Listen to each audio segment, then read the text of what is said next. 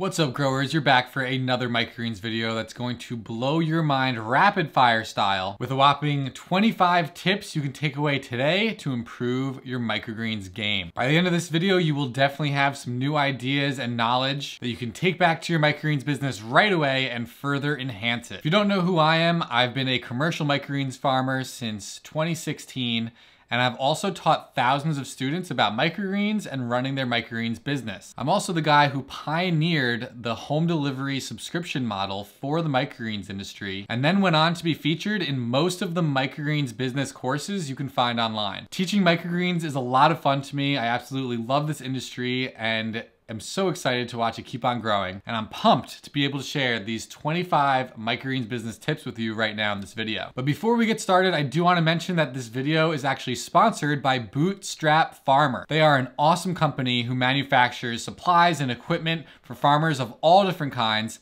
and they do most of their manufacturing here in the United States, which is incredible. They're also the ones who make the best heavy duty microgreens trays that almost never break, and these are actually the trays that I use exclusively. So definitely check out their website at bootstrapfarmer.com where you can find a whole bunch of different farming equipment and you should also check out their new microgreens blog. I'll put links for all of this down below in the description of this video, so go check it out. All right, let's get to those 25 tips to take your microgreens business to the next level. And by the way, let me know down below in the comments which tips you like best. I really appreciate your feedback and it helps me to teach you better. All right, 25 tips. Start small and work your way up. Before you start growing for profit, start growing for yourself. This will allow you to test the waters and learn the ropes, preparing you to provide the best service for your customers in the future. Start from your home. The last thing you wanna do when you're first starting your business is making monthly rent payments before you're consistently profitable. Not to mention the tax benefits of running your business from home.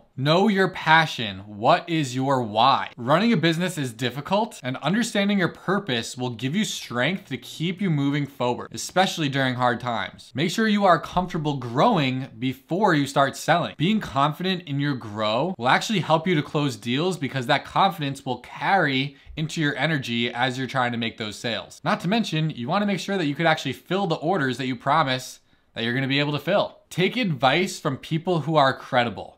Anybody can talk. Bad advice leads to bad habits, and not everybody on the internet has the best growing advice, business methods, or sometimes not even the best intentions. So just keep that in mind. A weekly delivery service should be at the core of your microgreens business. The delivery aspect is a great way to enhance your offering as a business, making it super convenient for your customers to get their hands on your crops. It will also keep your business streamlined, predictable, and efficient. Get comfortable growing just a few core microgreens varieties at first before adding others to your weekly plantings. This will prevent you from getting overwhelmed in the beginning and will also help you to keep your seed costs down while holding less inventory.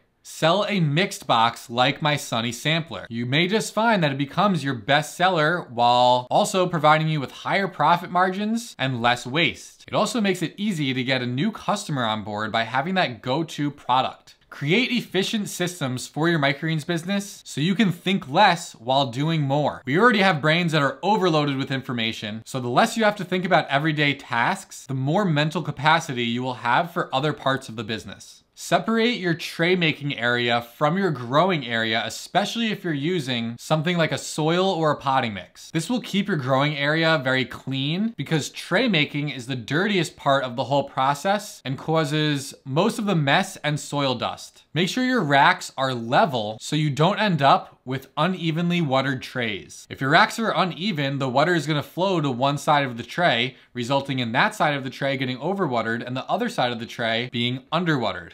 Don't keep clutter in your farm that you aren't using. Keep it lean and clean and you can think about minimalism here. This will help to create an efficient flow in your farm space and allow you to move throughout that space more effectively. Plus, you don't want dead stagnant energy in your farm and you also want to be utilizing every bit of your space for revenue generating activities. Use a super rack when moving trays to maximize your efficiency. A super rack is really a term that I coined, and it's a rack on wheels with many shelves on it that allows you to move more trays at once throughout your farm. It keeps you as efficient as possible and reduces your walking time between different spaces. Have fun with your microgreens. Growing should be really fun and enjoyable. At the end of the day, your happiness is really what's most important. So make sure you are happy with your business and don't be afraid to change things that you don't like. Buy high quality equipment the first time to remain consistent and not waste money early on. For instance, you want to use trays that are sturdy and don't break rather than trays that break often, resulting in that equipment becoming a liability instead of an asset for your business that you can use over and over again.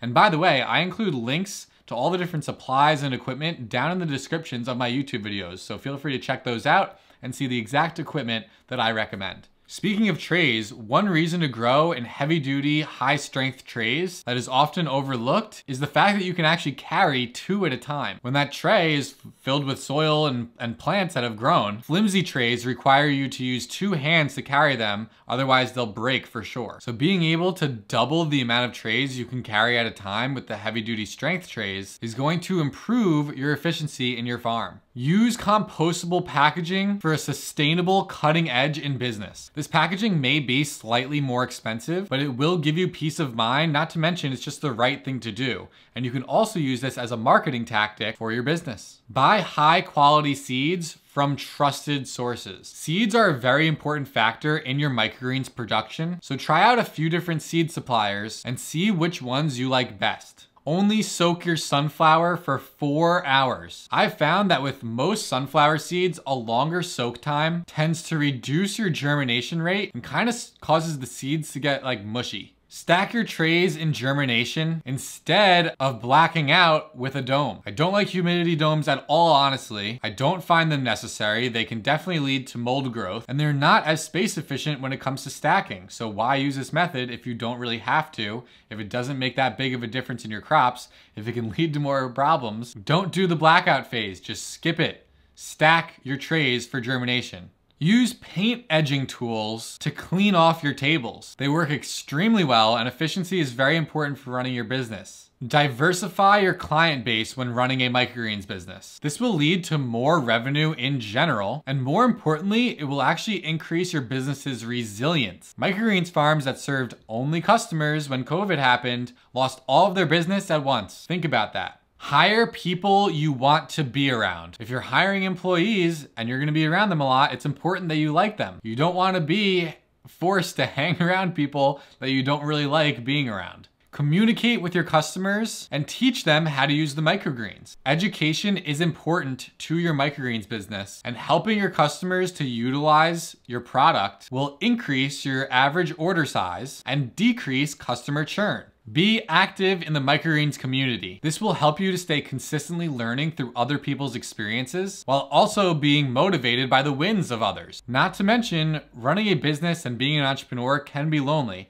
so take advantage of microgreens communities like my microgreens support group on Facebook. There you have it, 25 microgreens business tips that you can use right away. I hope this video was useful if you have a microgreens business or if you're even just thinking of starting one. And by the way, if you haven't started growing microgreens yet, well, what are you waiting for? You don't have to worry about failing on your first trials of growing anymore because you can join my one tray away challenge that guarantees your success. I walk you through the whole process day by day, and there's a lot of other perks that come along with this challenge. But you can learn everything you need to know about my microgreens challenge at onetrayaway.com, or you can use the link below in the description. To learn if it's even still a good idea to start a microgreens business in 2024, watch this video or watch my other video to learn if becoming a microgreens grower is right specifically for you. If you like this video, hit that like button, subscribe to my YouTube channel, and share this video with anybody you think it may help. Thanks again, and I'll see you next time. Peace.